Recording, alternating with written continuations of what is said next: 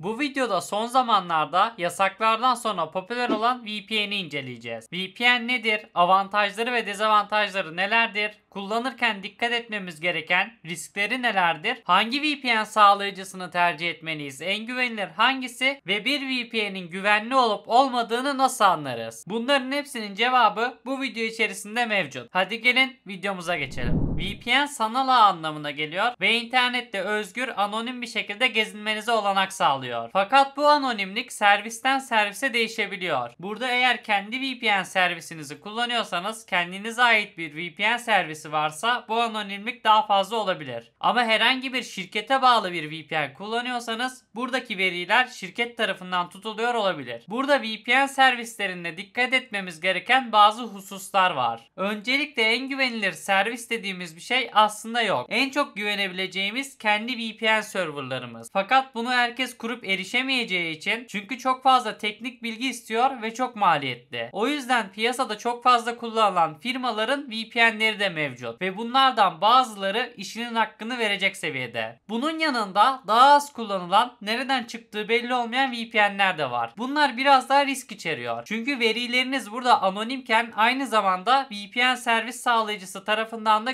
görülebiliyor. Tabii bu daha büyük firmalarda tam olarak böyle işlemiyor. Ama küçük ne olduğu bilinmeyen servis sağlayıcılarında bu durum söz konusu. Burada kendi verilerinizi de çaldırma ihtimaliniz var. Ama VPN özünde kullanıcıya çok fazla katkı sağlayan bir şey. Kullanıcı verilerini gizler, internette verilerinizi güvenilir bir şekilde saklamanıza olanak sağlar ve verilerinizin çalınmasını zorlaştırır. Sizi anonim bir hale getirir ve iyi bir VPN bağlantı hızınıza da katkı sağlar. Çünkü VPN'ler aynı zamanda yönlendirme hizmeti de verir. Buradaki VPN servislerindeki yönlendirmeler daha optimize olduğu için normalden çok daha hızlı bir şekilde internete erişebilirsiniz. Burada hatta daha çok bilinen firmaların sağladığı VPN'lerde internet data kullanımının da azalttığı görülüyor. Bu da bazı VPN'ler görselleri vesaire sıkıştırabiliyor, daha az data kullanmanıza olanak sağlıyor. Böylelikle kota dostu bir servis kullanmış oluyorsunuz. Fakat burada bir takım VPN'lerde data kullanımınızı arttırabiliyor. Bunu kendiniz takip edip kontrol etmeniz gerekiyor. Burada VPN'in görevi sizin verilerinizi şifrelemek. Hem internet servis sağlayıcılarının hem de başka kişilerin görmemesine olanak sağlar. Çünkü sizin verilerinizi tamamen şifreler ve bu şifreler çözülemez. VPN bağlantısının faydaları da benim de az önce belirttiğim gibi güvenli şifreleme, konumunuzu gizleme, bölgesel içeriğe ulaşma, bazı bölgelerde bazı içerikler yasaklı olabiliyor ya da erişim engeline sahip olabiliyor. Fakat VPN başka bir yönlendirme aracılığıyla başka bir ülkenin sunucusuna bağlandığı için sizi başka bir ülkedeymiş gibi gösteriyor. O yüzden genel olarak içeriklere erişebiliyorsunuz. Burada bu bilgiyi bu sayfadan anlatmamın sebebi hem sayfa içerisinde verilen bilgilerin çok doğru oluşu hem de ayrıntısına kadar yer verilmiş olması. Buradaki kaynağı başka kaynaklarla ve kendi düşüncelerimle size aktarıyorum. Bu sitenin bağlantısını da açıklama bölümünde vereceğim. Peki bir VPN'in iyi ya da kötü olduğunu nasıl anlayabiliriz? Aslında bunu bulmanın en kolay yöntemi bilinen büyük sağlayıcılara bakmak. Çünkü bilinen büyük sağlayıcıların çalıştığı büyük firmalar da var. Ve bunlar karşılıklı işbirliği içerisinde. Ve çeşitli kullanıcı dostu paylaşımlarını da gerçekleştiriyorlar. Yani burada bilinen büyük firmaları kullanmanızı tavsiye ederim. Fakat hiçbir VPN sağlayıcısı tamamen güvenilir değildir. Sağlayabiliyorsanız kendi VPN ağınızı sağlayın. Fakat bu çok yüksek maliyetli ve çok teknik bilgi gerektiren bir konu. O yüzden pratiklik açısından kullanabileceğiniz VPN'ler var. Videonun ilerleyen aşamalarında bundan da bahsedeceğim. Bu noktada Cloudflare'ın kendi VPN servisi var. Zaten Cloudflare'ı DNS'lerinden de biliyorsunuz. Birçok web siteye veri gizliliği ve bot doğrulaması gibi de hizmetler sağlıyor.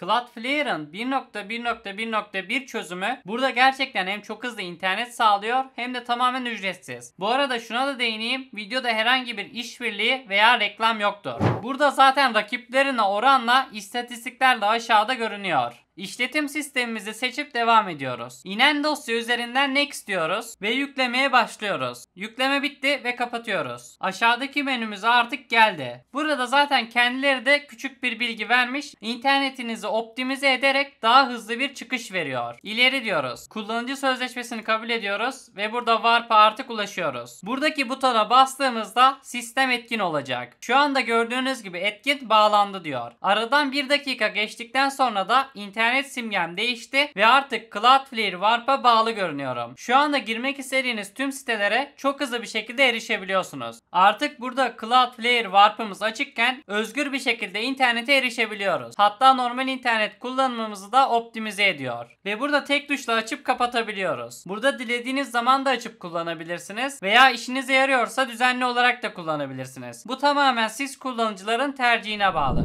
Cloudflare da bu alanda çok köklü bir firma. Zaten kendilerini de mutlaka duymuşsunuzdur veya büyük bir çoğunluğumuz duymuştur. O yüzden diğer firmalara oranla daha fazla güvenilmeyi hak ediyorlar. Fakat hiçbir sağlayıcı tam olarak güvenilemez. Maksimum güvenilirlik için kendi VPN servisini kurmanız lazım. Ama alternatif olarak bence güzel bir alternatif. Videoyu izlediğiniz için teşekkürler. Kanala abone değilseniz abone olmayı, videoyu beğenmeyi ve yorum yapmayı unutmayın. Aşağıda açıklamalar kısmında Telegram grubumuz var. Oraya da katılıp aramıza gelebilirsiniz. Kendinize iyi bakın. Hoşça kalın. Görüşmek üzere.